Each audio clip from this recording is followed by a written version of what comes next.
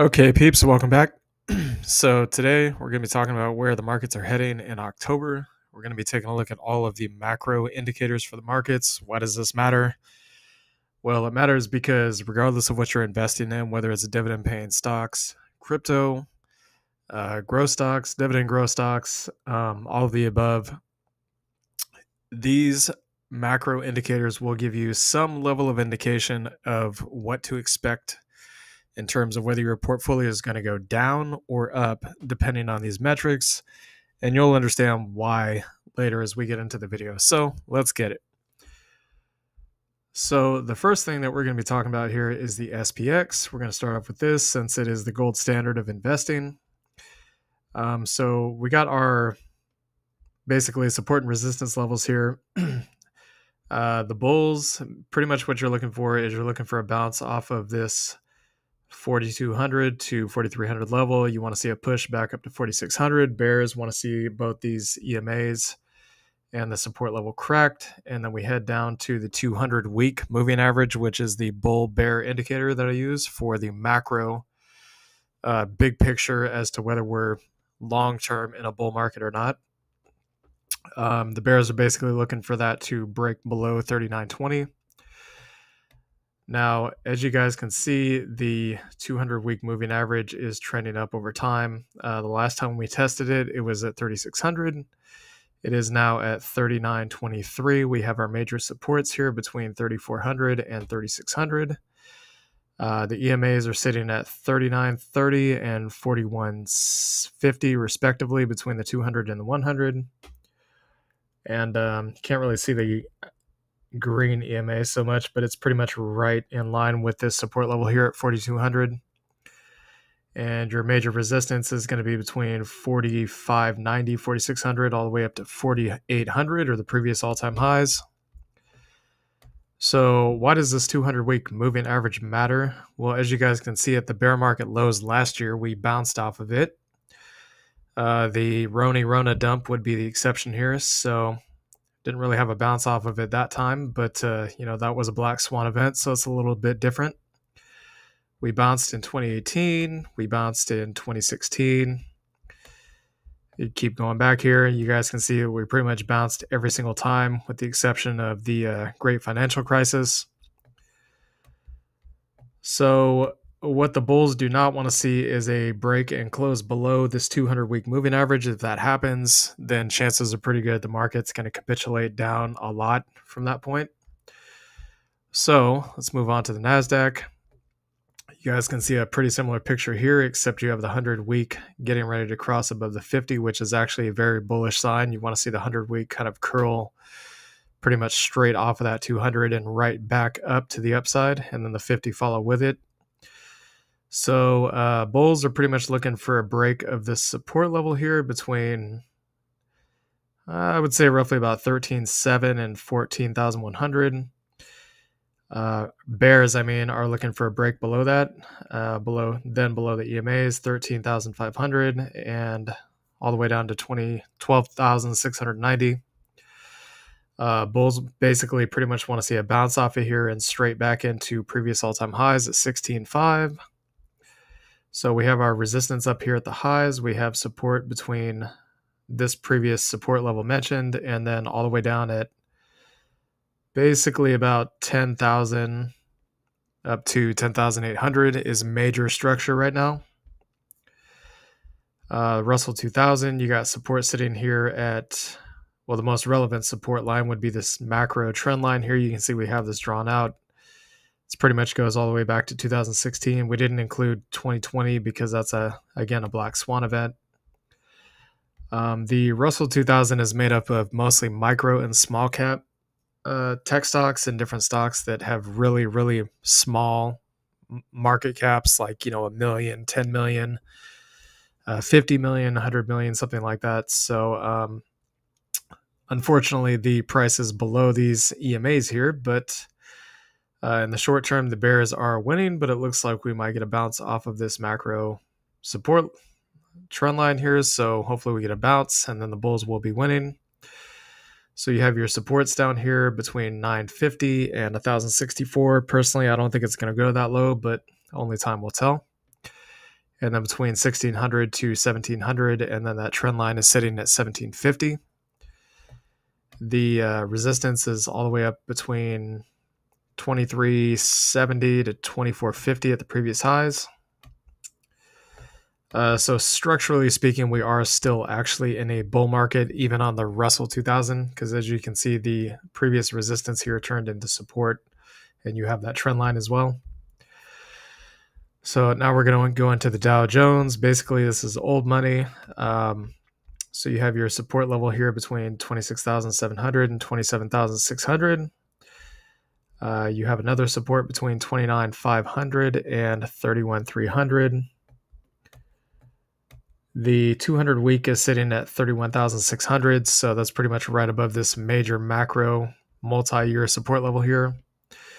Uh, the it looks like the 50 has cr- crossed um, below the 100 week moving average, but at this point, I wouldn't think too much of it because they're not trending down yet. So, pretty much, bears want to see these EMAs cracked down to the support level. Bulls want to see a bounce off of these EMAs up to previous all time highs. And the all time high resistance is sitting between 35,800 and 37,300. So that covers the major indices. Now we're going to go ahead and get into the 50 and 200 day moving averages for the S&P and the Nasdaq. So basically what this is is it is an indicator to indicate when the markets are oversold and overbought. So what you're looking at down here is the buy zone for kind of um, immediate to midterm investors basically and or swing traders you want to see the uh, basically stocks above the 50 get down to between zero or not zero but like one or two all the way up to about 15 as you can see we held it here during the uh, pandemic and during some of the bear market swing lows last year so this is a good turning point for the bulls to basically you know push stocks back up push stocks higher and for the bears, you want to see it come up here. So then you can obviously dump into this resistance here. Um, so basically, this is for bulls, this is a buy zone and this is a sell zone or good time to get into investments and good time to just simply hold and not do anything and wait for it to come back here. And the opposite for bears. Uh, so very similar picture here on the NASDAQ. Basically, this is a buy zone. This is a sell zone. Uh, the NASDAQ has been respected multiple times, basically throughout the pandemic and the previous year's lows. And the inverse is also true for resistance up here.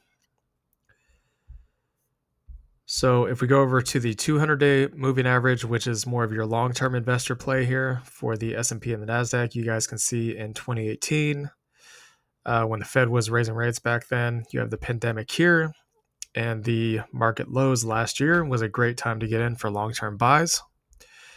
And uh, the opposite is true here for bears. Bears would be looking to sell pretty much up in this area here. And this is the NASDAQ version. It's essentially the same thing, but for the NASDAQ, you can see all the different market lows here, market highs, where you would have either wanted to take profit as a bull or basically hold, or as a bear, you want to short the market up here and wait for it to come back down here to take profit. So that takes care of the 50 and the 200 day moving averages for the major indices. We're going to get into the yield curve now. So the metric that the Fed uses is the three month, 10 year treasury yields as the yield curve that they use to determine whether it's inverted or uninverted, whatever the case may be. We don't like to use that. We like to use the two year in place of the three month. Reason being is because if the three month and the 10 year were going to uninvert, or invert, the two year would do it first. So it gives us kind of a front running indicator of what to expect um, for the larger gap treasury yields, like the three month and the and the 10 year or the three month and the 30 year, or something like that. So this is our main metric here. As you guys can see, the uh, 10 year is sitting at 4.68%, whereas the two year treasury yield is sitting at 5.11% in a normal in a normal economic environment, the two year yield would be lower than the 10 year yield. Here's what I mean. If we click on this chart, you guys can see that uh, the two year treasury yield was not that high until the Fed started raising rates. And the five year, also, same story here. Basically, for this thing to uninvert and for a possible quote recession to happen, pretty much what we want to see is for the uh, the two year treasury yield percentage to come below the 10 year. That would mean that it's uninverted. So initially, it would have been uninverted to begin with. So you could basically just swap these percentages, say that the two years at 4.68%, 10 years at 5.11%. That would be considered to be normal. Okay. And then they uninvert. So that would be what the numbers are now. And then, or they invert, I mean, that would be the numbers now. And then they uninvert when the two year goes back below the 10 year. So that's what the yield curve looks like right now. The Fed funds rate, which uh, give me a second here, I got to pull this up. So the Fed funds rate is currently sitting at 5.33%. Um, as far as we know, currently, this is just a guesstimate, but we believe that the Fed's pretty much going to hold rates at this point. They said that maybe they'll do one more rate hike, but we kind of doubt it uh, because you know the Treasury has to pay interest on its debt, and the Fed can only raise rates so much before eventually the United States can no longer afford to pay their bills, and that would not be good for anybody. So that's the Fed funds rate. We think that it's going to hold and then maybe sell off. As you can see, something similar here and here. It's pretty much what we're expecting. Um, so you got inflation. inflation, the uh, headline inflation is at 3.7%. Nothing goes up or down in a straight line, so we do expect inflation to keep coming back down. Uh, let's see here. So you got core inflation as well, which has come down a lot, 4.3%. We're basically by the end of the year, we expect core and inflation, the two of them individually, to be somewhere between 2 to 3% by the end of this year. It sounds crazy. Fed's like, oh, we're going to hold rates till the end of 2024. I'm not buying it. I don't believe that for a second. So uh, that's kind of our expectations on inflation. The unemployment rate, again, we've told you guys before. Um, actually, got to get rid of these indicators real quick. So give me a second.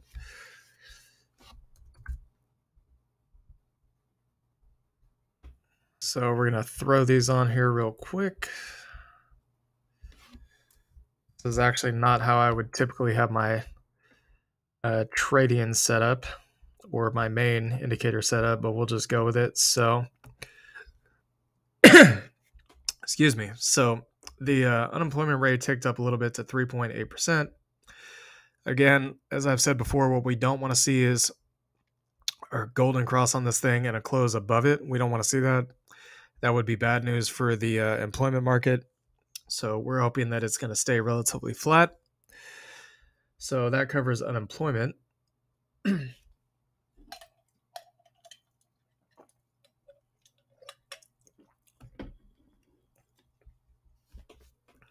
Now, if we go into oil, uh, as you can see, oil is holding this trend line. It's sitting above support.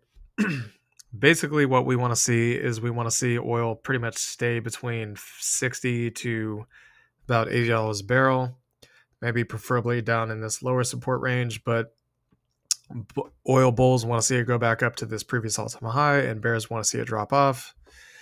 So that's pretty much that for oil. Um, we don't we're not really going to be buying a lot of oil stocks or oil any kind of securities um, until we see the price basically stay in the zone right here. It's not that we're not bullish; we just don't want to pay expensive prices. so that covers that. Um, if we take a look at gold, so uh, buyers basically looking to buy between 1370 and 1440. Sellers would be looking to sell between 2090 and 1921. Uh, and then your lowest support would be 1066 to 1170. If we go to platinum, platinum's pretty much a buy right now between 770 and 830. You'd want to sell up here between 1750 to 1930 or 1913, excuse me. Um, silver, you want to buy between 860 and 1450. Not financial advice, these are just buy and sell zones. Uh, you'd want to sell pretty much between $30 to $38 because that is pretty much the high. You can it's it's more or less a high probability that sellers are going to be looking to sell their positions up here when they're looking at the charts. Uh, Palladium, we've actually waited a long time for this to come back down to support to buy, and it has not done it yet. But basically, we're looking for about 900 to 1140 to buy Palladium, and then you would want to sell uh, between 3400 and roughly about 3000 bucks. So if we take a look at the fear and greed index, as of right now, the market is experiencing um, the fear sector of the overall index. Reason being is because September is typically pretty bearish. Uh, we do expect that to go to neutral or greed in the following months between October, November, and December. Because as we told you guys before, the last quarter of the year is typically very bullish. So let's take a look at Bitcoin real quick.